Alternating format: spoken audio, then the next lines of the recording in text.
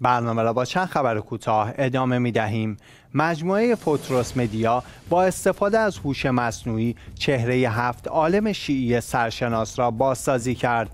این علما و بزرگان شیعه که عکس آنان بازسازی شده عبارتند از علامه مجلسی، علامه هلی، شیخ صدوق، شیخ توسی، شیخ مفید، شیخ کلینی و شیخ بهایی پتروس مدیا خاطر نشان کرده به همت و ارادی بخش تولید هوش مصنوعی این مجموعه و با تکیه بر سه دسته اطلاعات از جمله گزارش های تاریخی از ظاهر و در بعضی موارد نقاشی هایی به جامانده و همچنین تصاویر فرضی موجود در جامعه با یاری هوش مصنوعی تصاویر این هفت عالم را بازسازی کرده است.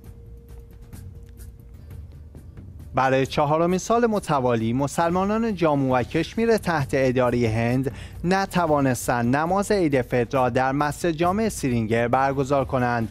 انجمن اوقاف و مدیریت مسجد دولت هند را به تحمیل شرایط نامعقول برای خونسا کردن نماز و برگزاری مناسبت های مذهبی مسلمانان متهم کرده است.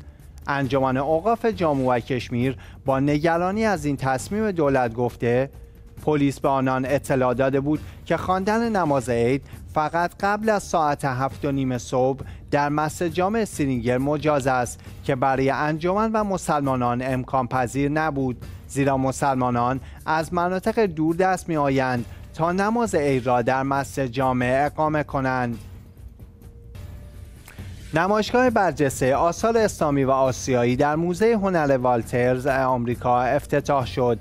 این نمایشگاه بیش از 600 اثر هنری 5000 ساله را به نمایش می‌گذارد و اولین بار در تاریخ موزه اسلامی است که مجموعه های اصلی هنرهای اسلامی و آسیاییان با هم به نمایش گذاشته می شود این آثار شامل نمونه های از معماری، خوشنویسی، سرامیک، کلبسازی، میناکاری، ظروف لاکی، نسخه های خطی، فلزکاری، نقاشی، مجسم سازی و منسوجات است.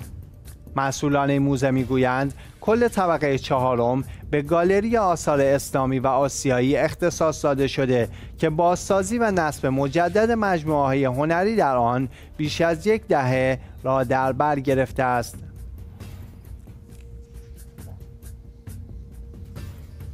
عباس کریمی شناگر شیعه افغانستانی در مسابقات قهرمانی شنای ویژه معلولان پاراولد سریس 2023 در ایالت مینسوتای آمریکا مدال طلا گرفت.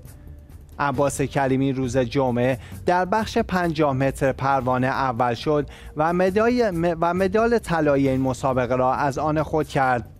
او در این بخش سال گذشته در ایندینیاپولیس نیز مدال طلا گرفته بود.